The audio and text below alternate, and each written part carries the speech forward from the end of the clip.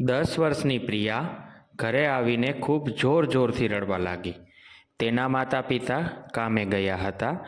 તેના દાદીએ તેને રડવાનું કારણ પૂછ્યું, પણ પ્રિયા કાંઈ ના બોલી. તે બસ રડતી જ રહી. થોડી વાર બાદ પાણી પી અને ચૂપચાપ ઘરલેશન કરવા લાગી. સાંજે તેની મમ્મી ઘરે આવી એટલે તેના દાદીએ તેને બધી વાત કરી. તેની માતાને પણ પ્રિયાનું રડવું વિચિત્ર લાગ્યું. તે પ્રિયા પાસે ગઈ અને પ્રેમથી માથે હાથ ફેરવી અને પ્રિયાને પૂછ્યું, બેટા, શું થયું? કેમ રડતી હતી? પ્રિયા ફરી જોર જોરથી રડવા લાગી અને પોતાની કાલી ગયેલી ભાષામાં તેણે તેની માતાને કહ્યું, માં, આજે બુધવાર હતો. આજે ફરીથી શાળાના આચાર્યએ મને પ્રાર્થનામાં ઊભી કરી અને ખીજાયા અને કહ્યું કે સારા કપડાં પહેરીને આવજે. ક્લાસમાં ટીચર પણ મને વઢ્યા કે, પ્રિયા, નોટબુક લઈને આવજે. પાર્ટીમાં લેસન નહીં ચલાવું. માં, મને પણ બીજા છોકરાઓની જેમ નવા કપડાં અને સરસ નોટબુક, પેન્સિલ એ બધું લઈ દે ને? બેટા, તને ઘણું બધું લઈ દઈશ. પણ હમણાં નહીં, થોડા ટાઈમ પછી. આપણી પાસે પૈસા આવશે ને, એટલે સૌથી પહેલાં હું જ તને બધું તું જે કહીશ તે લઈ આપીશ.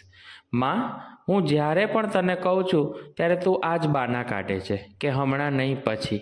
આપણી પાસે પૈસા નથી. એમ કહી તું બધું ટાળી દે છે. માં, આપણી પાસે કેમ પૈસા નથી? આપણી પાસે ક્યારે પૈસા આવશે? મારી શાળામાં ભણતા બીજા બધા છોકરાઓના માતા પિતા પાસે પૈસા છે, તો આપણી પાસે કેમ નથી? પ્રિયાની આ વાત સાંભળી તેની માતા સમસમી ગઈ. પણ તે પ્રિયાને શું સમજાવે? તેણે પ્રિયાને ફોસલાવી જમાડી દીધી અને પછી તેને સુવડાવી દીધી. પ્રિયા તો સૂઈ ગઈ, પણ તેના સવાલો એની માતાને ઘેરી વળ્યા. પ્રિયાના સવાલોએ કામિનીના મનને બેચેન કરી મૂક્યું. પૈસા પૈસા પૈસા. તેને આજે એ મહેસૂસ થતું હતું કે પૈસા વિનાની જિંદગી કાંઈ છે જ નહીં. આજે આ પૈસા એ જ નાનકડી દસ વર્ષની ફૂલ જેવી બાળકીની જિંદગી નર્ક જેવી બનાવી દીધી. દુનિયામાં બસ પૈસા જ બધું છે. કામિનીએ પ્રિયાને તો સુવડાવી દીધી, પણ હવે તેને ઊંઘ આવે એમ ન હતી. તે ઘરનું બધું કામ પતાવી અને પલંગ ઉપર પ્રિયાની બાજુમાં આડી પડી, પરંતુ તેની આંખમાં ઊંઘ ન હતી. અનેક પ્રશ્નો તેની આંખમાં હતા. તેને પોતાનો ભૂતકાળ નજર સમક્ષ દેખાવા લાગ્યો. કામિનીના લગ્ન બાર વર્ષ પહેલાં નિરંજન સાથે થયા હતા. કામિની તેના માતા પિતાનું એકમાત્ર સંતાન હતી. તેના પિતાની આર્થિક હાલત બહુ સારી ન હતી. આથી નિરંજન, કે જે પ્રાઇવેટ કંપનીમાં કામ કરતો હતો, છતાં પણ કામિનીના લગ્ન તેની સાથે ગોઠવી દીધા. નિરંજનના પિતા પણ તેને નાની ઉંમરે છોડીને અવસાન પામ્યા હતા.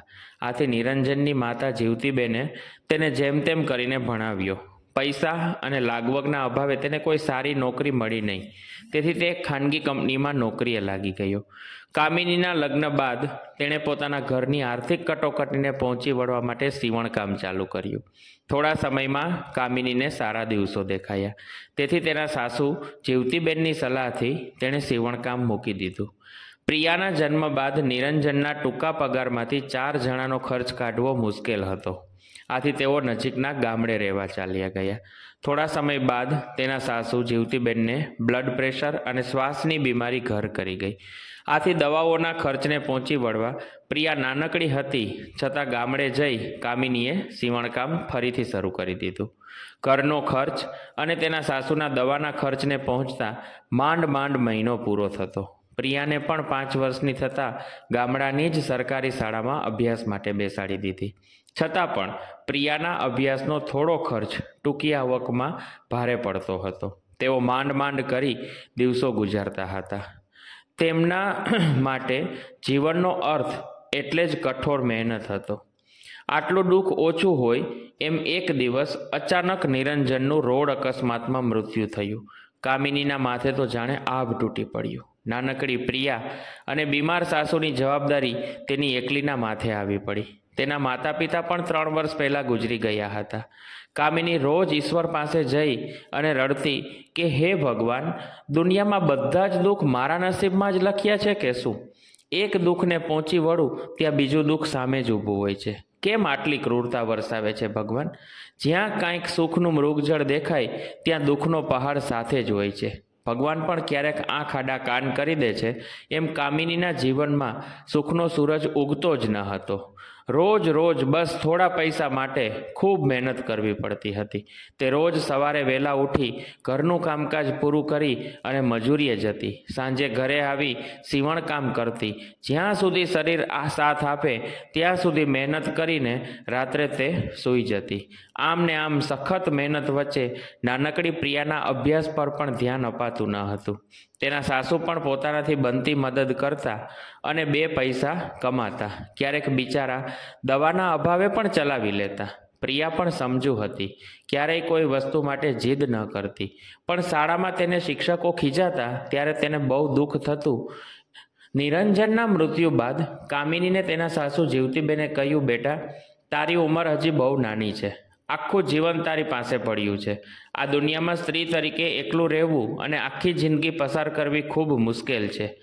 મેં એકલીએ આખી જિંદગી પસાર કરી છે એ મને ખબર છે. નિરંજનના બાપુ તે બહુ નાના હતા ત્યારે અમને એકલા છોડી જતા રહ્યા હતા. પણ ત્યારે જમાનો સારો હતો તો મેં જેમ તેમ કરી નિરંજનના સહારે દિવસો કાઢી નાખ્યા.